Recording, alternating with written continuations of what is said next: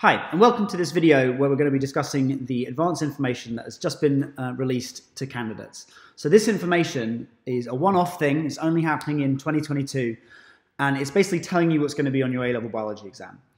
Um, so this is going to be really, really useful for your preparation, and I'm going to talk to a little, talk to you a little bit about how to use it uh, and what you should do to prepare. So the first thing I want to mention is that you still need to revise all the content as everything may still come up. So the whole syllabus can be assessed, but it's most likely that it's going to be in one markers or two markers, most likely in multiple choice questions.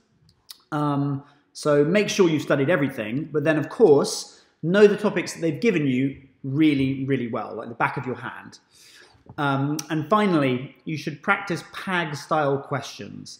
So these are questions about practical skills and, and that's really, really important um, in a, uh, a few key areas which I'm going to talk to you about.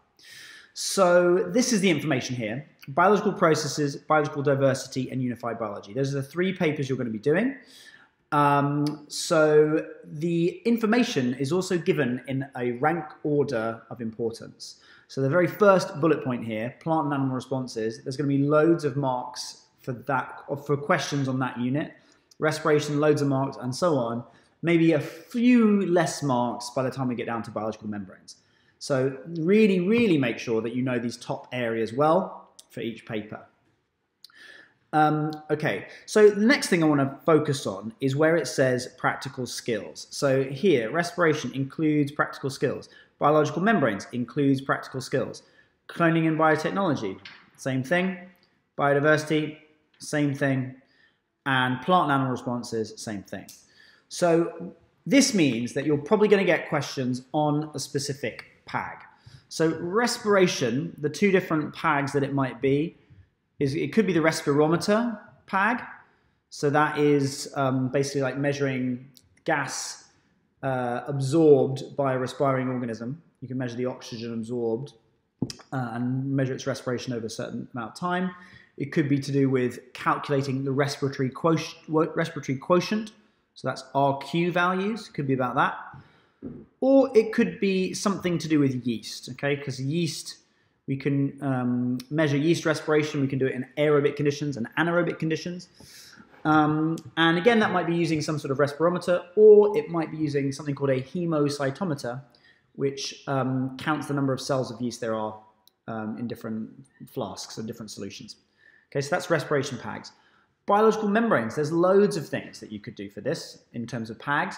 It could be experiments to do with beetroot, okay, looking at the membrane of the beetroot cells and how the betalain pigment leaks out of the cell. So it could be that. It could be stuff to do with potato.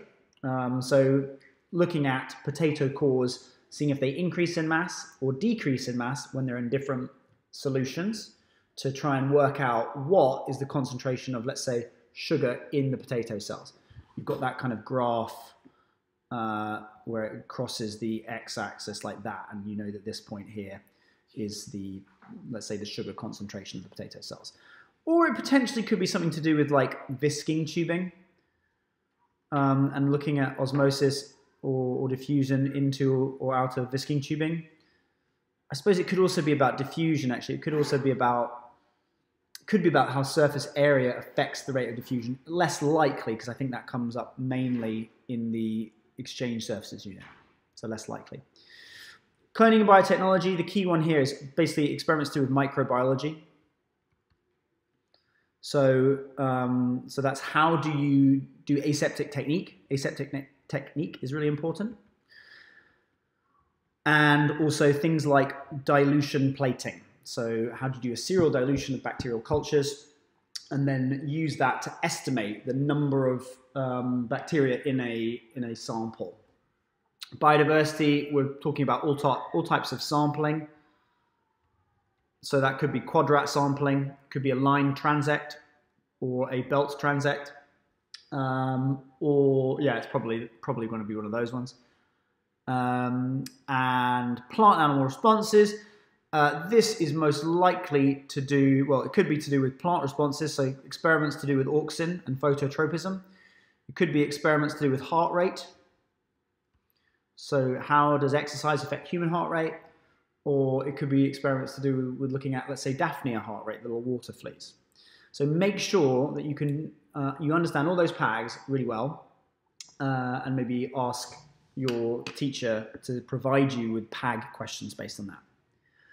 Okay, the next thing that I'm going to talk to you about is what I'm giving my students, which is this. So, and I'm going to put all these links um, underneath the video description, and I'm also going to share you the link for this PowerPoint. So here is a link, uh, a list of hyperlinks for activities you can do to prepare for the biological processes paper. So for each of the topics that has been given to us, I've given you um, a link to a mind map. So that's one of the mind maps on my channel, um, and links to either practice questions from either Save My Exams, you do need to pay for that, or uh, physics and maths tutor questions, you don't need to pay for that. Uh, but there are other sites available as well. Um, I think um, StudyMind is another good one that my students recommend. So uh, if you were to work through all these videos, do all these things, you'd be really well prepared for the biological processes exam.